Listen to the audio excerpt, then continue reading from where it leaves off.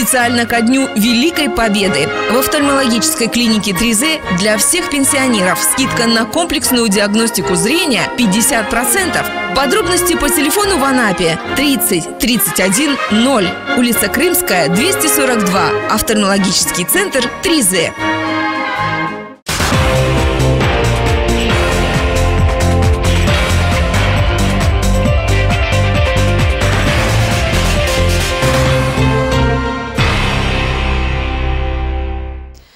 Здравствуйте! В эфире телеканала РЕН-ТВ новости Анапа регион в студии Ирина Меркурьева. И сегодня в выпуске. Анапским ветеранам начинают выплаты материальной помощи. Под единым брендом придорожный сервис. Люба – сбор атаманов Таманского отдела Кубанского казачьего войска. Анапским ветеранам Великой Отечественной войны начали выплачивать по 3000 рублей из местного бюджета. Решение об этом принял мэр города Сергей Сергеев. Исполнение поручения главы курорта обсудили на общегородском планерном совещании. Мы начинаем выдачу денежных средств по 3000 рублей каждому ветерану Великой Отечественной войны. Значит, прошу всех зайти в отдел по взаимодействию с АТО, с Ольгой Григорьевна Попова назначена ответственным в этом направлении, получить деньги для вручения единого время денежной выплаты ветеранам Великой Отечественной войны и до 5 мая выдать ее. Главам сельских округов напомнили, что большинство из них руководят именно сельскими территориями и должны оказывать всяческую поддержку начинающим фермерам, развивать малые формы хозяйствования. Обучающие семинары, которые в эти дни проходят в округах, отнюдь не формальность. Я по почте вижу, сколько обращений от э, населения, которые бы хотели знать, чем заняться, как, какая помощь оказывается субъектам, муниципалитетам и так далее. Поэтому интерес есть, и теперь с вашей стороны собрать людей и специалисты проконсультируют и окажут финансовую помощь, потому что такая возможность имеется действительно.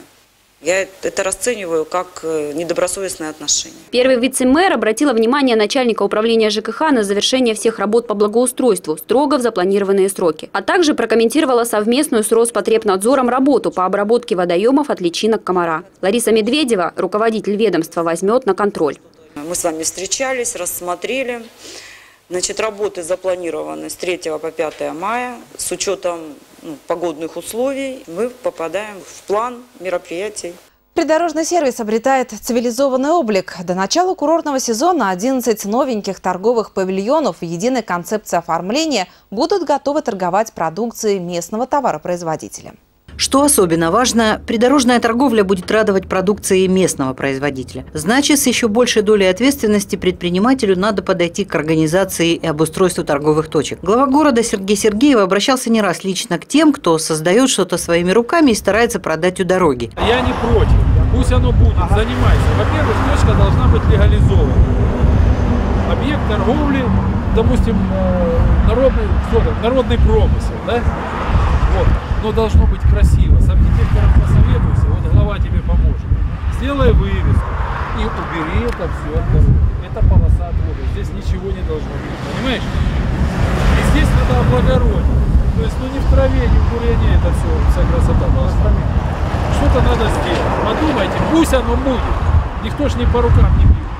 Но должно быть цивилизованно. У Тарусина пока изменилось немного. Из травы архитектурные малые формы вышли на асфальтовые площадки. Но выглядит такой торговый ряд неэстетично. Товар в хаотичном беспорядке. Олени вот все равно пасутся на проезжей части. А вот так будут выглядеть торговые ряды на хуторе «Рассвет». Этим женщинам, для которых торговля своими овощами и фруктами – основной доход в жизни, не надо было долго объяснять требования современной торговли. Да, мы да? все сделали сами, да. Как черешня начнется, клубника начнется, горох начнется, все ведерками выходит с сюда. Да, а да. это же, без, как сказать, опасно же. Ну вот, пожалуйста. И опасно и некрасиво, mm. да? Ну, ну вот мы сделали, люди приходят, у кого какие слишки есть, продают. Но мы, в основном мы тут пятером торгуем, ну и для пенсионеров а тоже сколько создали. лет вы вот этим занимаетесь торговлей? С 87 -го года. Главный специалист управления сельского хозяйства рассказал, что для всех этих ярмарок были проведены все необходимые согласования, в том числе и технических условий. Будет у павильона и раковина с водой проточная, и мусорный контейнер. Все, о чем не раз говорил в своих требованиях глава города. Главой администрации муниципального образования город Курот Анапа Сергеем Павловичем Сергеевым Сергеевым поставлена перед управлением сельского хозяйства задача по упорядочению придорожной торговли. ну, торговли плодоовощной продукцией, пахтевыми культурами и также оказание помощи крестьянско-фермерским хозяйствам, личным подсобным хозяйствам, населению. Вот как вы видите, в реализации данного вида продукции. В станице Гастагаевской тоже вовсю идут работы по строительству торгового павильона. Для такой торговли разработаны специальные проекты с рядом требований организации и подъездной зоны тоже. В Юровке многие знают и любят эти торговые ряды. Они давно стилизованы под кубанские курени, но в таком виде ряды проживут последний год. Уже в новом сезоне и здесь все приведут к единому стилевому решению. Так что к старому уже возврата не будет. В рамках масштабных работ по благоустройству скверов и памятников в преддверии 70-летия Великой Победы ведутся работы на мемориале по улице Протапова. Мемориальный комплекс по улице Протапова кардинально преобразится к празднику Великой Победы. В этом году завезли около 10 кубометров грунта. Приподняли уровень клумб. Элементы мемориала будут отсыпаны декоративной мраморной крошкой. По заданию управления жилищно-коммунального хозяйства ведем работы по замене газонов на рулонные в количестве 200 квадратных метров. Также ведутся работы по посадке цветников в количестве 2500 штук. Подготовительные работы в стадии завершения. Уже завтра обновленные клумбы украсят зеленая трава и летняя рассада, бархатцы и петунии ярких расцветок. Все работы завершат уже к 1 мая. Привели в порядок мемориал, покрасили, убрали территорию старого кладбища, назначили смотрителя. Со стороны набережной произведена замена секций металлических ограждений. Их покрасили, подкосили траву за оградой. Сбор атаманов Таманского отдела Кубанского казачьего войска прошел сегодня в Анапе. Обсудили работу Анапского районного казачьего общества, подвели итоги прошедшего в Краснодаре парада и предстоящие военные сборы. Сбор атаманов начали с приятного. Атаман Таманского отдела Иван Безуглый отметил работу глав сельских округов Анапского района и сотрудничество с казаками. Телекомпания «Напрегион» тоже получила благодарственное письмо за патриотическую работу. Руководство России – нашего государства делает главное сегодня внимание уделяет казачеству и считает, что казачество является опорой государства российского. Таманский отдел сегодня лучший отдел не только в кубанском казачьем войске, но и в российском казачестве. А в, а в Таманском отделе лучшим районным казачьим обществом является Анаапское районное казачье общество. Лучшее не только в работе, но и в спорте. По итогам соревнований по казачьему рукопашному бою в станице Гастагаевской команда анапских казачат заняла первое место. Второй год подряд первое место по итогам месячника военно-патриотической работы с молодежью в крае. Более сложно стали работать казачьи штабы. По итогам работы 2014 года Анапское РКО заняло первое место в Таманском отделе. Эффективно в этом году работали штабы Анапского станичного казачьего общества, Анапского городского, Курения Рихова, Джигинка, Приморское хуторское общество. Участие анапчан в параде к 24-й годовщине реабилитации репрессированных народов Северного Кавказа и казачества в Краснодаре тоже было отмечено руководством края. Получила оценку «отлично». Ветеран войны Валентина Аркадьевна Шептухина отметила 90-летие. В день рождения ее поздравила администрация города и вручила поздравления от президента страны. Валентина Шептухина родилась в 1925 году в селе Юровка. В военные годы ей было всего 17. В 1942 перед самой оккупацией города в Гайкадзоре рыла окопы. Эвакуирована в Геленджик, а следом и в город Орск. Работала на военном заводе у станка, помогала фронту из тыла. И днем, и ночью мы почти, мы почти не выходили с завода. Нужно было много гранат, очень много. И нас просили, девочки, девочки, работайте, работайте, давайте, работайте получше, получше работайте, давайте. А мы говорим, да мы и так домой не ходим совсем. За плечами тяжелые военные годы, послевоенное становление, общественная деятельность. Сегодня же пенсионерка окружена вниманием близких и заботой государства. А юбилей прошел в теплой дружеской атмосфере. Кроме поздравительной открытки от президента, именинница получила подарки от главы города и самые теплые поздравления от родных и близких. Она очень добрая, очень добрая, жалостливая, ей жалко.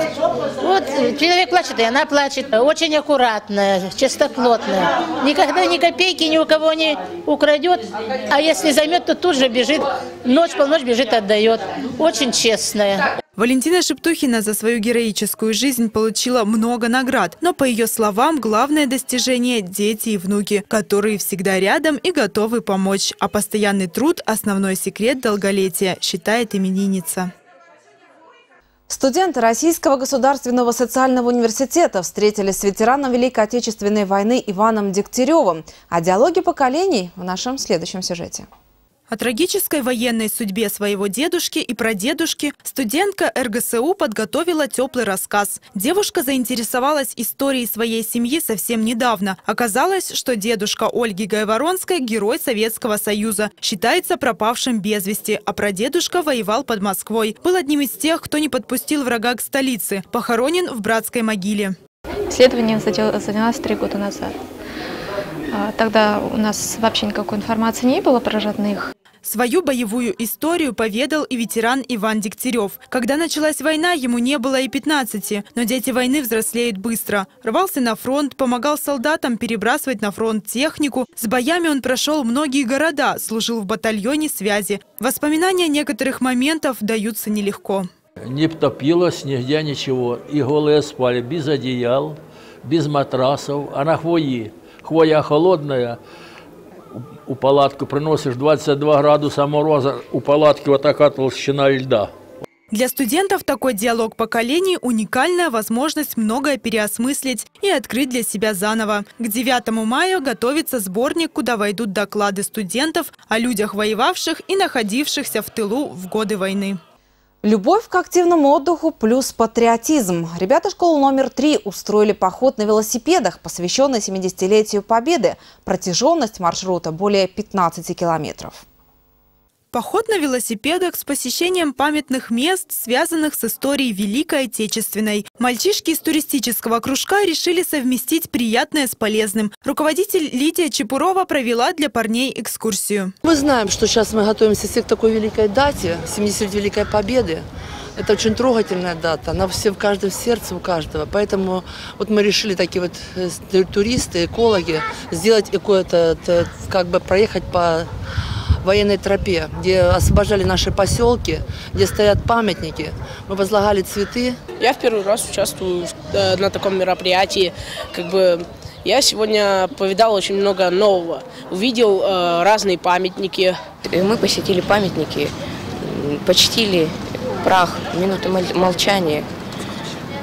Ну, и мы помним наших предков. А завершилась патриотическая акция возложением цветов к памятникам и мемориалам. В Анапе при столкновении с деревом легковушку разорвало пополам. В аварии, которая произошла вчера, 27 апреля, около трех часов, на подъезде к городу погибли два человека. По предварительным данным, 22-летний молодой человек, управляя автомобилем BMW 335, не выбрал безопасную скорость движения, съехал с дороги и влетел в дерево. В результате ДТП водитель иномарки и его 23-летний пассажир от полученных травм погибли на месте происшествия, сообщили «Живой Кубани» пресс-службе ГИБДД. Обстоятельства, послужившие причиной аварии, уточняются. Чемпионат Кубани, высшая лига. На футбольном поле встретились команда Понтос, Силовитязева и Краснодар ГНС «Спартак». Первые 10 минут матча можно назвать разведкой. Соперники присматривались друг к другу и надумывали ходы атак. Первая к активным действиям приступила команда Витязева 1-0. Но во втором тайме краснодарцы отыгрались. В итоге ничья. Соперник, я считаю, одна из лучших команд вообще. И по традициям, и по игре в крае. Всегда приятно сюда приезжать, играть.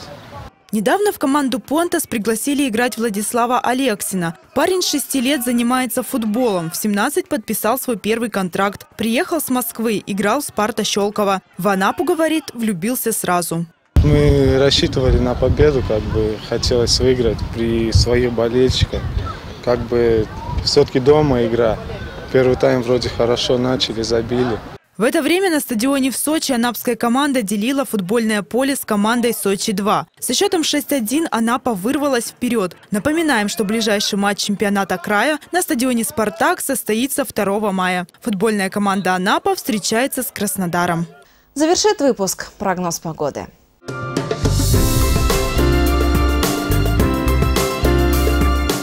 Завтра небо снова затянет облаками. Ожидается небольшой дождь.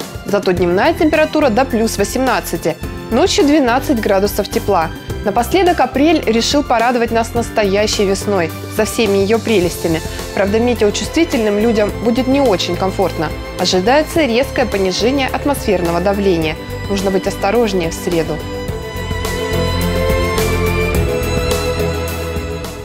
Генеральный партнер программы «Клиника 3Z». Эти и другие новости вы можете найти на нашем сайте. А я с вами прощаюсь. До встречи. Специально ко дню Великой Победы в офтальмологической клинике 3Z для всех пенсионеров скидка на комплексную диагностику зрения 50%. Подробности по телефону в Анапе 30 31 0, улица Крымская, 242, офтальмологический центр 3Z.